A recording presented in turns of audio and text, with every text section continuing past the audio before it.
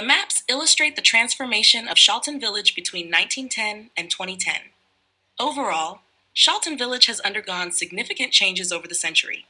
By 2010, the village had expanded considerably, featuring many new roads, buildings, and housing developments. Body 1. In 1910, the village was small and rural, with a cluster of buildings around a central green space. The map shows a compact community with a few scattered houses and simple road networks, highlighting its simpler past.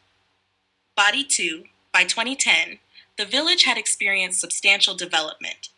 New housing developments were constructed to the north and east, nearly doubling the number of houses from 1910. Additionally, the main road was rerouted to bypass the village center, significantly reducing traffic through the core area. This improvement in infrastructure made the village more organized